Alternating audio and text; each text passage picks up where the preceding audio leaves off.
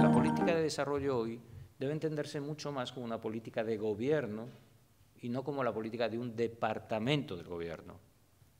Y todos los sistemas de cooperación han nacido, en la mayor parte de los casos, salvo algunos que han quedado anclados en las presidencias, casi todos han estado vinculados a un ámbito departamental. En algunos casos eso no ha tenido efecto porque las culturas administrativas, estoy pensando en el caso de los países nórdicos, sus culturas administrativas han estado acompañadas de una cierta facilidad para la coordinación entre departamentos. ¿no? por tanto, podían, aunque la responsabilidad de la gestión estuviese en un departamento, la política se definía de manera interdepartamental. Pero no es el caso de España. Esto no es el caso de España. ¿no? En el caso de España hemos configurado un sistema de cooperación al desarrollo que está dominantemente anclado en, un único departamento, que es el del Ministerio de Asuntos Exteriores, y ese departamento tiene enormes dificultades para permear con el resto de eh, departamentos de gobierno. Y esa no es forma de construir la Agenda 2030. Por tanto, una primera consecuencia, en mi opinión, importante hacia el futuro es cómo avanzamos hacia unos mecanismos institucionales y de trabajo que nos obliguen a sumar capacidades, responsabilidades y tareas de los distintos departamentos, que nos obliguen a generar una cultura en donde no solo hagamos una cooperación sumando actores sociales, sino ya empezando por sumar capacidades institucionales eh, de los distintos niveles de gobierno y de los distintos departamentos de gobierno. El Consejo de Cooperación, antes lo estaba hablando, el Consejo de Cooperación al Desarrollo puso en marcha, que yo estoy, puso en marcha una, convencido de la necesidad de cambio del sistema de cooperación español, puso en marcha un grupo de trabajo eh, para elaborar un informe y una propuesta para el siguiente gobierno. En esa, en esa tarea, la primera reunión que tuvimos fue con comunidades autónomas. Cuando se les preguntaba a estos responsables de la cooperación, estamos hablando de responsables de la cooperación descentralizada de España, y se les preguntaba si habían tenido algún contacto, no, trabajo, no, reunión de trabajo, sino si contacto con el Ministerio de Asuntos Exteriores, responsable de la cooperación, la respuesta era no, no, yo nunca tuve una llamada del Ministerio de Asuntos Exteriores. O sea, esta es la, situación. Bueno, si queremos hacer la Agenda 2030, tendremos que sumar a estos actores. Vamos, desde los años 90 y a instancias de la Unión Europea se insistió en la importancia que tenía la coherencia de políticas, porque era muy claro que la ayuda al desarrollo es un capítulo y un capítulo menor de la acción pública de los países donantes, incluso de la acción pública internacional de los países donantes. Entonces, que era muy contradictorio tener una política de ayuda al desarrollo que persigue ampliar las oportunidades de progreso de los países más pobres y tener otra serie de políticas que remasen en dirección contraria. Entonces, esto, que parece evidente, eh, es lo que la Unión Europea propuso como concepto de coherencia de políticas y, y se puso en marcha. Pero en el pasado, esa coherencia de políticas descansaba fundamentalmente en nosotros, definimos una política de cooperación al desarrollo y lo que vemos es si las demás políticas interfieren. Esta era la idea, ¿no? Esta era la idea de la coherencia de políticas. Era como un añadido a la acción de desarrollo para buscar complementariedades con otras políticas o evitar disonancias.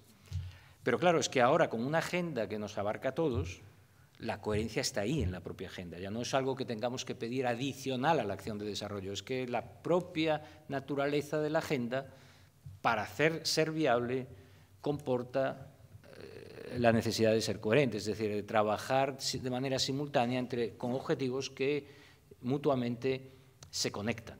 Entonces tenemos que avanzar en una política de coherencia de políticas y esa coherencia de políticas nos va a obligar a ser muy eh, creativos, pero también tenemos que pensar cómo hacemos con los fondos de apoyo a las empresas que no son de desarrollo para que tengan impactos de desarrollo deseables. Es decir, cómo avanzamos desde las dos orillas porque eso es hacer coherencia de políticas.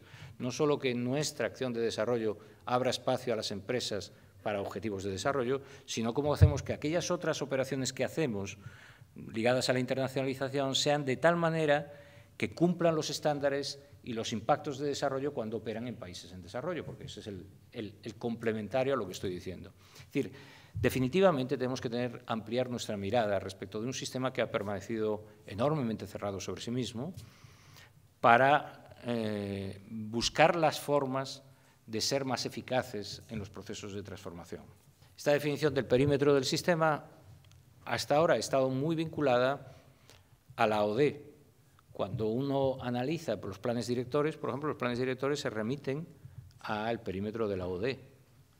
Pero claro, es que el perímetro de la OD no es el perímetro de la agenda y de los recursos que la Agenda 2030 necesita.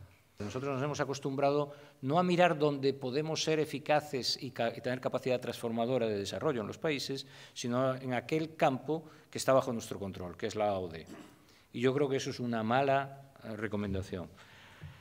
La OCDE ha hecho algo para cambiar esto, generando un concepto que es el eh, TOSDI, ¿no?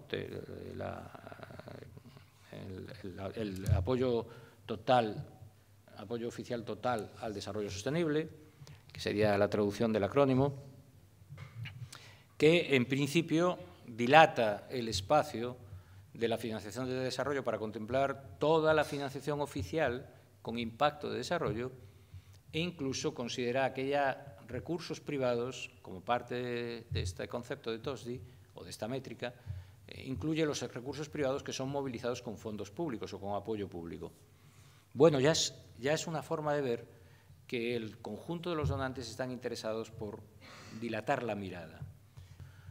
Eh, como las ciudades eh, al final de la edad medieval rompieron sus murallas y empezaron a expandirse, nosotros tenemos que romper esas murallas y empezar a expandirnos hacia ámbitos de acción que nos interesan porque generan impacto de desarrollo, aunque muchos de ellos no son computables como ODE. Pero claro, ese esfuerzo implica cambiar nuestra mentalidad la mentalidad de antes era una mentalidad, digamos, cautelar. Definimos muy claramente lo que entra y nos despreocupamos porque ya no sabemos que no está contaminado. Ahora tenemos que tener una actitud muy distinta, la de vigilantes, precisamente porque estamos dispuestos a contaminarnos, porque queremos ser transformadores, tenemos que ser vigilantes para saber que esa contaminación no termina por distorsionar nuestros propósitos. Los propósitos debemos tenerlos claros. Es abrir espacios y oportunidades de desarrollo a los países más pobres, corregir la desigualdad, avanzar en la sostenibilidad ambiental. Eso deben ser objetivos muy claros, pero en cómo hacerlos realidad tenemos que ser mucho más, si se quiere, eh, aunque este término normalmente está cargado negativamente, pero yo diría mucho más oportunistas, en un sentido, si se quiere, positivo, de dónde están oportunidades para transformar la realidad. La necesidad de que la cooperación o que las agencias de desarrollo sean mucho más dialogantes y trabajen más conjuntamente con otro tipo de agencias que se mueven en esos otros espacios. De alguna manera las agencias tienen que saber que son, las agencias de desarrollo me estoy refiriendo, son un mecanismo más que debe actuar como un incentivador de implicador de otros mecanismos que se mueven en el ámbito público y también en el ámbito de la sociedad en su conjunto. En definitiva, las agencias están llamadas a tener, las agencias de desarrollo están llamadas a tener mucho más un rol de broker social, de conector social, que de estrictamente de proveedor de servicios, y menos todavía exclusivamente de expedidor de recursos, que es lo que en muchos casos terminan siendo algunas agencias. Entonces, no, si es eso, el valor añadido de la agencia es mínimo, realmente. No tendríamos por qué tener agencias, si ese es el propósito. Si lo que queremos es tener eh, una agencia que haga desarrollo realmente, lo tendrá que ser no porque ella haga todo, sino porque ella sea capaz de buscar los actores, de identificar los problemas, buscar los actores, ponerlos a trabajar conjuntamente, respaldarlos para que eso se pueda poner. Esta idea de broker social implica instituciones mucho más abiertas, mucho más permeables, mucho más dialogantes, también mucho más técnicamente asentadas en los ámbitos de trabajo, y no simplemente en la gestión de proyectos con las que eh, muchas de las agencias se nutrieron en su personal y en su, y en su experiencia. Esta agenda yo creo que es una gran oportunidad para trabajar con los países de renta media por, y, los países de renta media la han tomado así. ¿eh? Digamos que en, en, las agendas anteriores los países de renta media nos, estaban excluidos de la agenda. Los países de renta media sí son parte muy relevante es más, en la medida en que los temas relacionados con los bienes públicos globales alcanzaron mayor relevancia, para los países de renta media es crucial la agenda porque eh, son los principales eh, los países que principalmente afectan a esa provisión y los más afectados por una adecuada provisión de bienes públicos globales. Es decir, que, por decirlo de una manera que, que se entiende muy rápidamente, es impensable en estos momentos que podamos dar una solución al clima si no implicamos responsablemente a China, India, Turquía, Brasil, a países de renta media, que son los que están justamente en el proceso de tránsito y de los que va a depender el crecimiento de las emisiones. Entonces, buena parte de la agenda de bienes públicos descansa en la implicación activa de los países de renta media. Por tanto, es normal que desde la comunidad internacional y en el marco de esta agenda hoy se entienda el protagonismo que los países de renta media eh, han adquirido, no solo como, repito, como parte de la agenda, sino también como contribuidores, como parte beneficiaria de una agenda de transformación como la que estoy, eh, la Agenda 2030 se propone, sino también como contribuidores a la agenda en el ámbito internacional, contribuidores responsables. Y es normal, por tanto, que muchos países desarrollados traten de ver en la cooperación sur-sur y en la cooperación triangular mecanismos importantes para avanzar en la Agenda 2030.